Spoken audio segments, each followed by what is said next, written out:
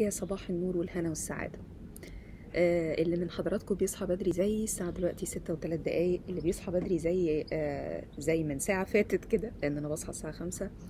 آه هيبقى عارف كويس جدا إن الصبح ده أبرك وقت في اليوم وأهالينا كانوا دايما يقولوا كده الصبح ساعة بركة الصبح فعلا آه أبرك وقت في اليوم. وصحيح آه، ساعة الصبح ضيقة زي ما بيقولوا لكن إذا بتصحى بدري أظن إنك تقدر تنتج في يومك حاجات كتير جدا مهمة ومفيدة. المهم النهاردة أنا عايزة أحكي لحضراتكم حكايتي مع خامة بحبها جدا. امبارح كنا بنتكلم عن الخشب النهاردة عايزة أكلمكم عن الفخار. الفخار بالنسبة لي آه، مادة بتتنفس. لما تجرب تشرب في الفخار أو تاكل في الفخار أو تطبخ في الفخار هتعرف إنه طعم الأكل والمية والشرب وكده مختلفة تماما في الفخار عن أي حاجة تانية لأنه الفخار طمي فالفخار بيتنفس. تقدر تحس خير المادة وأنت بتتناول الحاجة من الفخار. عندي شوية حاجات بحبها في الفخار وعن الفخار في مصر. آه، أظن إنه يمكن حضراتكم تحبوا تسمعوها الناموسه دي مستقصداني تقريبا. طيب الفخار المصري وطبعا أنا عارفة إن في فخار في دول كتير جدا في العالم وفي خزف في دول كتير جدا في العالم. إيه الفرق بين الفخار والخزف؟ الخزف أطلق على المنتجات اللي بنحط فيها الأكل والشرب ومش عارفة إيه الأواني المستخدمات بتاعت حياتنا اليومية. دي بيقولوا عليها الخزف أو فن الخزف. وطبعا هو ممتد من الصين إلى أمريكا اللاتينية بأشكال مختلفة. ولكن في مصر الفخار مش بس ليه روح الفخار هو ثقافة. يا حبيبتي أنا ما بموتش حشرات. الفخار ليه ثقافة. الخزف المصري أو الفخار المصري اللي اصطلح عليه في أوقات سابقة ولاحقة بالقلل الإناوي مثلا أو الخزف الإناوي هو نوع واحد من أنواع الفخار في مصر. الفخار في مصر نوعين. نوع هو الصلصال النيلي اللي هو بيجي مع الطمي من إثيوبيا ده اسمه الصلصال النيلي. أو الصلصال الأسواني اللي هو بيجي من الطين الأسواني. وأسوان من أجمل الأماكن في العالم. نقطة. ومن أجمل الأماكن في العالم فاصلة اللي بتعمل الفخار. أنا بالنسبة لي أسوان أجمل مكان في الدنيا كلها. وهو المكان اللي أنا مقررة لو ربنا اداني عمر وصحة ورزق أتقاعد فيه في بيت صغير معمول من الطين برضه إن شاء الله.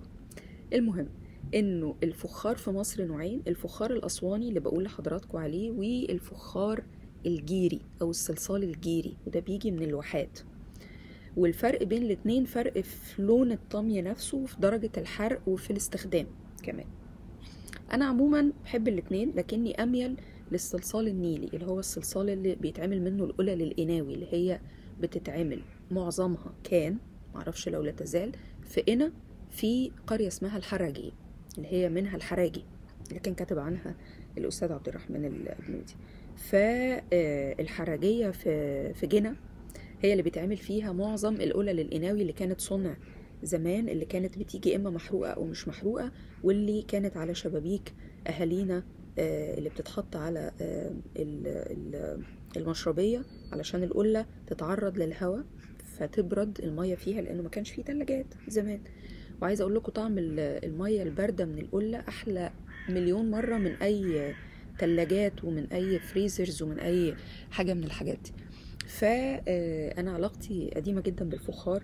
أنا الحقيقة آه، القلل شفتها في بيت أهل أبويا في الريف وكانوا بيحبوا يشربوا في القلل برغم آه، إن كان عندهم سبل ال- ال- الرفاهية إن هم يشربوا من التلاجات وما إلى ذلك. لكن كانت دايما جدتي آه، تتكلم عن طعم المية من القلة وفعلا طعم المية من القلة لا يعلى عليه. وكانت القلل بتتحط في صينية اسمها صينية القلل عادة بتبقى ألمونيا على رأي أهالينا اللي هو الألومنيوم طبعا وبعدين تتحط فيه القلل وبعدين ليها غطيان كده آه، معدن برضو حاجة زي الألومنيوم آه، وبتتغطى بعد كده بفوطة آه، مبلولة مبتلة بالمية. علشان تفضل القلل وهي بتنضح وهي بتتنفس تفضل محتفظة بالبرودة جوه من القماشة اللي محطوطة عليها اللي هي فوط القلل أو ساعات بتبقى طرحة القلل أو whatever اللي هي بتحتفظ بالبرودة جوه الفخار. فتفضل المية طعمها يجنن طعمها زي ال... كأنها مسكرة. آه معرفش لو كان الفخار بيمتص شوية من الأملاح المعدنية اللي موجودة في المية ولا لأ حقيقة مقدرش أفتي. لكن كنت بحس طعم المية من القلة مسكرة شوية عن صباح الفل. مسكرة شوية عن آه، المية اللي بت... بنشربها كده من غير ما تكون متبردة. أنا بصبح على العصافير. فأنا مؤمنة إن الفخار بيتنفس. فين بقى الفخار بيتعمل في مصر؟ الحرجية زي ما قلت لحضراتكم. الحرانية برغم إنها زي ما بيقولوا يعني قرية الأنامل الذهبية في صنع النسيج ودي حكاية نبقى نروح لها لوحدها. آه، لكن الحرانية كمان فيها صناعة فخار لا يستهان بيها الحقيقة. آه، سواء اللي منها ناس جت قعدت في الحرانية وعملت آه، بيوت لصنع الفخار وبعضها كان مشروعات مصرية أجنبية. كانت مشروعات طبعا لا تهدف للربح يعني لكن من عشاق مصر اللي جم قعدوا في الحرانية أو في قرية تونس أو كده. فده مكان من الأماكن. الحرانية ممكن تلاقوا فيها فخار مع النسيج. آم، آه، هنا طبعا في الحرجية ممكن تلاقوا. الفسطاط كمان في مصر القديمة أو مصر عتيقة زي ما كنا زمان أهالينا بيقولوا. في مصر عتيقة الفسطاط في قرية مخصوص اسمها قرية الفواخير أو الفواخرجية. والفواخرجي هو الشخص اللي بيصنع الفخار اللي بيشكله ويلونه ويحرقه وما إلى ذلك يعني. أنا بقى في حاجة آه، يعني مختلفة شوية. ده فخار محروق عشان كده بيلمع كده وعنده طبقة بتلمع. أنا بحب الفخار اللي مش محروق. بعد ما أخلص الفيديو ده وانشره هحط لحضراتكم صوره آه، الفنجان الأثير على قلبي واللي كان هدية من صديقة ليا بحبها جدا رضوى. لأن هي عارفة ذوقي كويس قوي فكانت جايبالي من مصر آه، أظن من أسوان لو أنا مش غلطانة يعني فنجان بالطبق بتاعه عليه بيوت أسوان آه، ملونة بالتلوين يدوي ومش محروق. فده علشان كده هو فنجاني الأثير لدرجة إن أنا بخاف أشرب فيه لحسن مرة يقع مني يتكسر أزعل عليه قوي وأنا بزعل قوي على حاجاتي بحافظ عليها خصوصا الحاجات اللي من مصر.